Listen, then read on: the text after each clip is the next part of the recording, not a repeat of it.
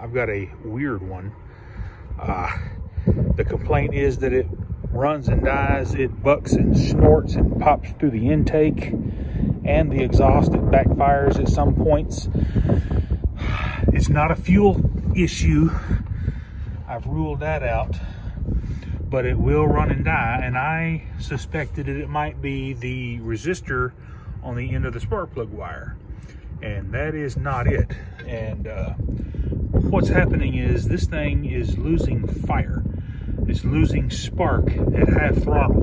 And that tells me the internal workings of the ignition coil that control timing is failed, even though it's sparking.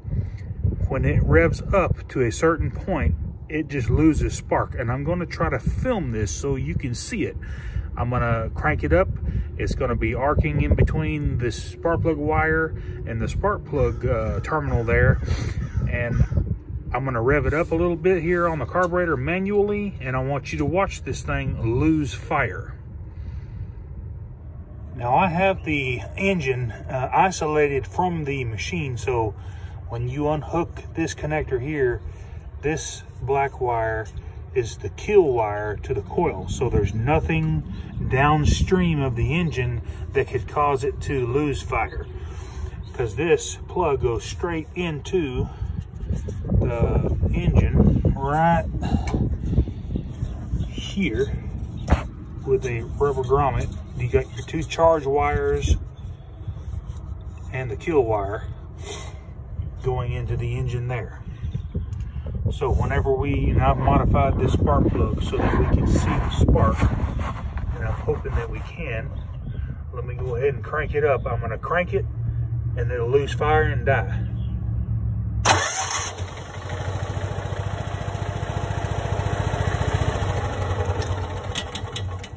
And it'll re-crank, it'll have fire and die.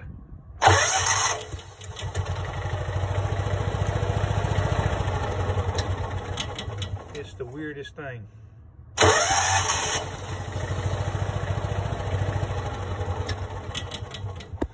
And just go straight to the engine like it's supposed to. Try it again.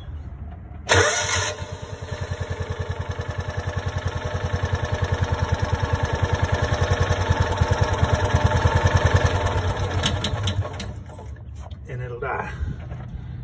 Try it again. You can rev it up.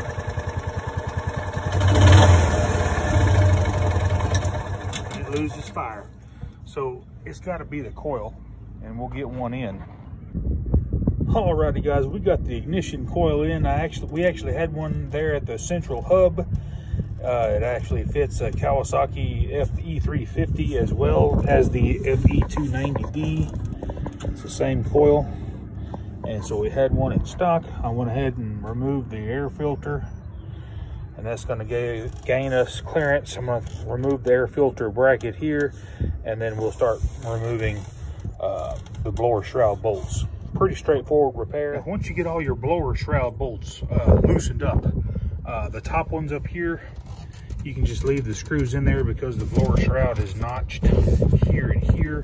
But on the bottom, on this on a gator, you have this brake linkage and this lip here. You're not going to be able to remove this uh, blower shroud all the way, but that's okay. You can get it out of the way enough to get in here to the coil, no problem. So whenever you get the coil and you get your wrench, you got plenty of room to get in here and set the gap and get a wrench in here. So we're just going to unloosen or loosen. I don't guess unloosen is a proper term, but just get your coils, bolts taken out.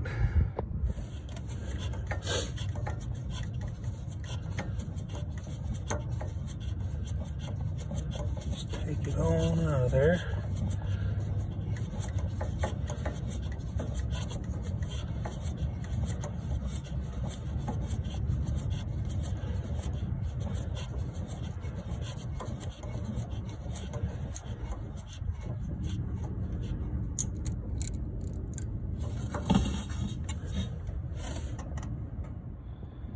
Snake your coil wire down.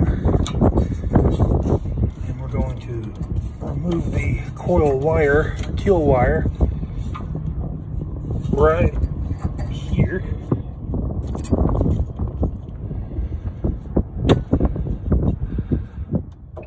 And snake her out of there. Be careful of your linkage up here. Bend it just a little bit to get that out, but I wouldn't force it too much. That coil is out of there. Now the only the only thing you'll have to transfer is your resistor and the grommet that fits the blower shroud. But just make sure that everything's lined up. You know, the coil's the same, the wire length is the same. But if you're working on a Kawasaki engine with the FE290D in the John Deere Gator, there's the part number right there, 21171 2207. Alrighty, we got the new coil installed. I've got about an eight to 10 thousandths air gap between the flywheel magnet there. I've already taken my strip of uh, 10 thousandths feeler gauge material out of there. As you can tell, the flywheel is a little bit rusty, but we're not too concerned about rust at this point. If you uh, feel the need, you can clean the flywheel with sandpaper but that's not going to keep it from sparking, I can guarantee you. But anyway, let's go ahead and get this blower shroud pushed back up over the top two posts here. And before we spend the time to bolt it all completely up, let's give it a test. All right, let's give it a crank.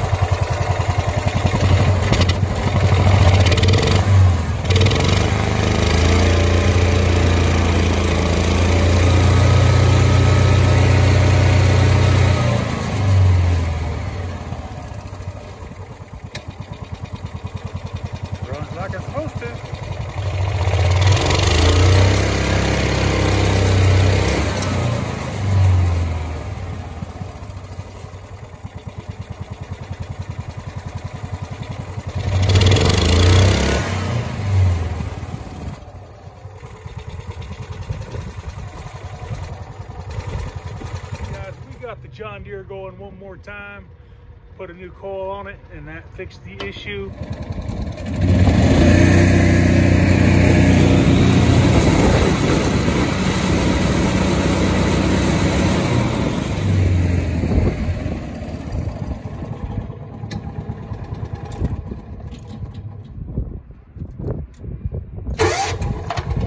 Oh yeah, that's what I like.